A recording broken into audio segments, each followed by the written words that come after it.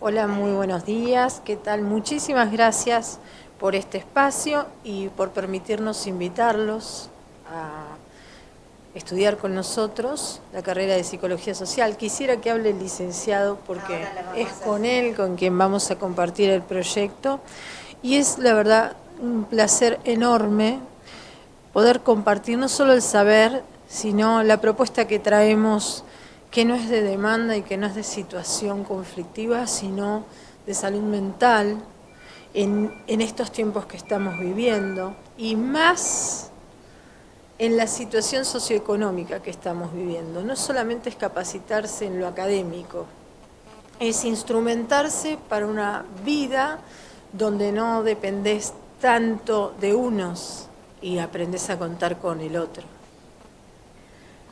Muy bien, muy interesante ¿eh? y nos dejó así. Bueno, licenciado, cuéntenos, va a venir la carrera de psicología social a nuestra ciudad. Sí, bueno, como decía Natalia, es una carrera que dura tres años, orientada a poder generar y capacitando gente para agentes de cambio.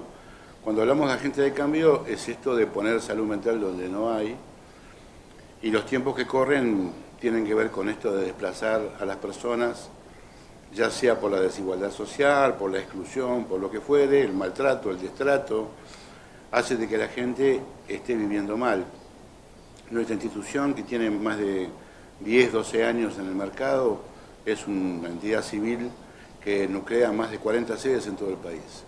Y esta vez tuvimos la posibilidad de venir a Salto y establecer, digamos, un dispositivo que es de capacitación con esta carrera que tiene certificaciones oficiales en cada año.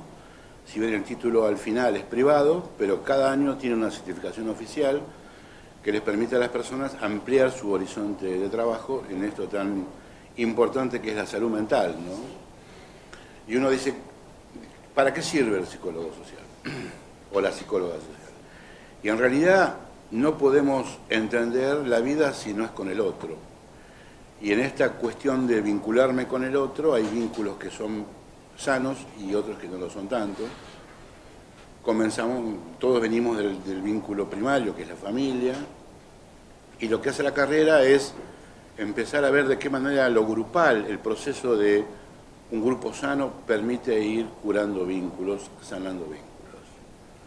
Este, al cabo del segundo año egresan con una capacitación con certificación oficial como operadores preventivos en salud mental, que esto es trabajar con grupos que estén en situación de vulnerabilidad como maltrato, como adicciones, como exclusión de los casos de los abuelos.